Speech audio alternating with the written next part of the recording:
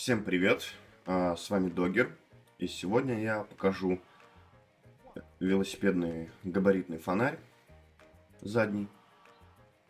А, значит, вот э, название, цена.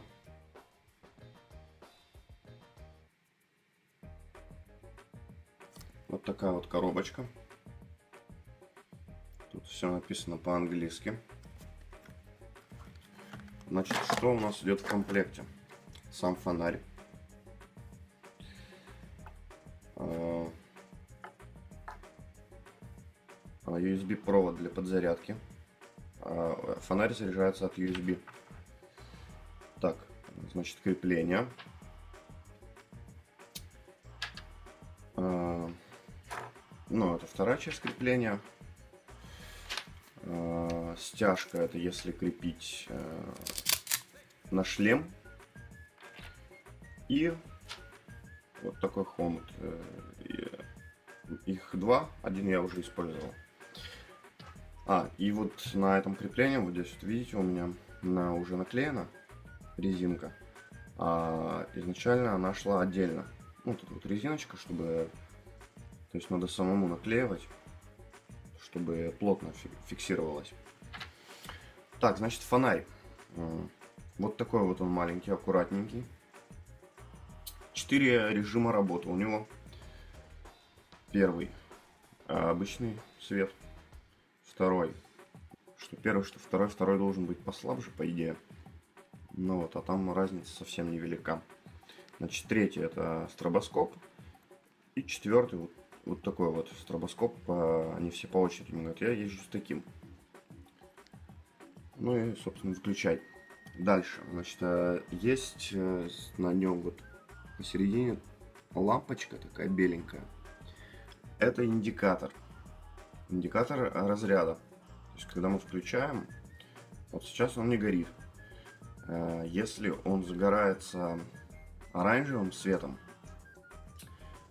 это означает, что осталось менее 20% заряда. Ну, то есть нужно подзаряж... подзаряжаться будет.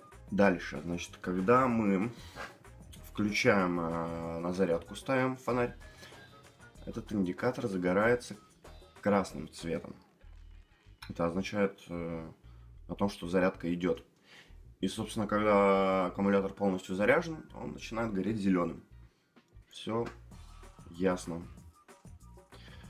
Э, значит, снизу, вот здесь вот, заглушка для USB. Вот микро USB. А, да, еще когда крепление вы на велосипед прикрепляете, фонарь может, если куда-то нужно отойти его, то он так поворотным движением снимается и ставится очень легко. Крепление хорошее, плотненькое. Позже покажу, как выглядит на велосипеде. И проведу сравнение с, э, по яркости э, с габаритными э, автомобиля. Посмотрим его в деле. Вот как он выглядит днем. Видите, он даже днем отлично светит ярко. На крепление он вот сделан немножечко под наклоном вниз, чтобы ночью, ну когда он, если вот на самый яркий режим включить, то есть, если бы он в обычном положении стоял бы, он бы слепил. А так как он сделан под наклоном, поэтому машину он не слепит. В общем, вот как выглядит днем, э, ну, в светлое время суток, э, габариты по сравнению с машинными. Вот на машине у меня, э, на машине сейчас тоже включено. Машина и велосипед. Так, ну вот как выглядит фонарь по сравнению с автомобильными фарами. Видите, довольно-таки ярко.